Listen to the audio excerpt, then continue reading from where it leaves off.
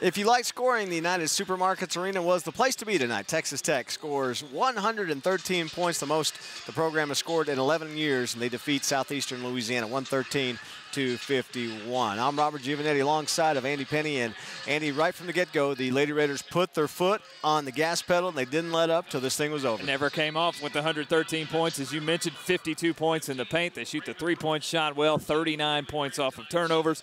54% the field goal percentage, and at the end of the night, six in double figures. Most points you've scored in 11 plus years.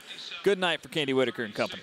Yvonne Cook uh, Taylor, our player of the game. She had 26 tonight, 12 of 15 from the floor, seven steals, five assists. Great night for Yvonne Cook Taylor. She did a little bit of everything, and she had to take that role of becoming the Lady Raiders' go-to player. And she was able to do that again, as you talked about, the 12 of 15 with the 26 points to lead the way. And there's some of those numbers again as we talk about Tech 54 percent 69% from the, the free throw line, but 39 attempts, 27 of 39, and then the three point percentage, 6 of 14. They cooled off late as far as three points were concerned. They were hot out of the chutes, then they picked it up with the uh, transition defense to offense. So a great night offensively for Texas Tech with 113 points. Lady Raiders now come back home to play Idaho State on Tuesday night before going on the road to Las Vegas over Thanksgiving, but off to a 2-0 start, so a good start for Candi Whitaker and her Lady Raiders. That's it from the United Supermarkets Arena. Again, Tech wins it by a score of 113 to 51. Thank you so much for joining us.